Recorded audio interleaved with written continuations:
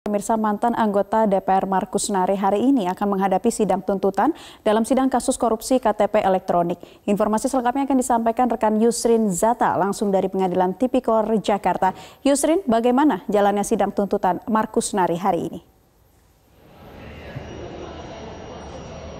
Ya, saat ini sidang tuntutan dari terdakwa kasus uh, korupsi KTP elektronik uh, Markus Nari ini saat ini masih berlangsung. Jika tadi dimulai sekitar pukul 1 siang atau pukul 13 waktu Indonesia bagian Barat di mana saat ini sedang dibacakan uh, isi surat tuntutan dari Jaksa Penuntut Umum uh, pada korupsi pemberantasan korupsi atau uh, KPK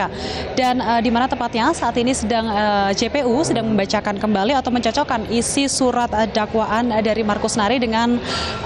pasal-pasal uh, yang nantinya akan dikenakan uh, terhadap terdakwa mulai uh, sesuai dengan eh, fakta-fakta persidangan yang relevan yang sudah ditemukan oleh uh, jaksa penuntut umum. Dan uh, memang setelah uh, dibacakan uh, setelah dibacakan uh, kembali atau mencocokkan isi uh, temuan dan pasal-pasal ini nantinya akan dibacakan analisa dari jaksa penuntut umum kemudian kita akan sampai pada kesimpulan di mana inti dari surat tuntutan dari Markus Nari ini akan uh, dibacakan uh, di muka sidang dan uh, saat ini masih terus berlangsung dan kami masih menunggu sebenarnya apa inti dari uh, surat tuntutan dari Markus Nari tersebut. Naila. Ya, apakah sudah diketahui apa bunyi surat tuntutannya, Yusri? Ya jika kita mengacu pada persidangan uh, tadi dimulai sekitar pukul 1 ini uh, dari JPU sedang membacakan temuan-temuan uh, selama uh, persidangan dan juga isi-isi dari surat dakwaan di mana tentang pertemuan-pertemuan Markus Nari, penerimaan-penerimaan sejumlah uang dan uh, apa saja terkait hal-hal terkait dengan uh, kasus KTP elektronik ini yang kemudian dicocokkan pada pasal-pasal yang nantinya akan mempengaruhi apa saja tuntutan yang akan diberikan kepada Markus Nari dari jaksa penuntut umum. Dan jika kita uh, sedikit menoleh ke belakang, memang dalam surat dakwaan dari Markus Nari ini uh, terdapat dua poin dakwaan yaitu yang pertama adalah Markus Nari didakwa memperkaya diri sendiri, memperkaya pihak lain dan juga korporasi yang uh, sebesar 1,4 juta dolar Amerika dan kemudian uh, dakwaan yang kedua ini adalah uh, Markus Nari didakwa merintangi persidangan kasus KTP elektronik.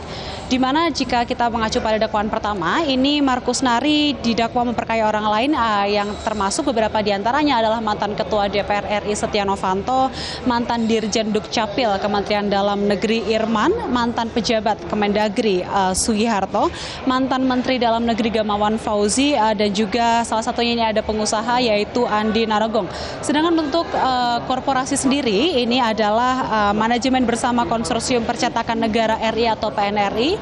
Perum atau perusahaan umum PNRI itu sendiri dan juga PT Sandipala Arta Putra, PT Mega Lestari Unggul, PT Land Industri, PT Sukovindo dan juga PT Quadra Solution yang di mana kemudian uh, Markus Nari ini diduga merugikan negara sebesar 2,3 triliun rupiah. Kemudian untuk uh, dakwaan yang kedua yaitu Markus Nari diduga atau didakwa merintangi persidangan kasus KTP elektronik di mana Markus Nari ini didakwa sengaja mencegah atau merintangi secara langsung maupun tidak langsung uh, pemeriksaan di persidangan saksi Miriam S. Haryani dan juga terdakwa Sugiharto dalam perkara korupsi kasus KTP elektronik yang ada padanya karena jabatan Naila. Ya, Yusrin Zata melaporkan langsung dari Pengadilan Tipikor Jakarta. Terima kasih atas informasi Anda.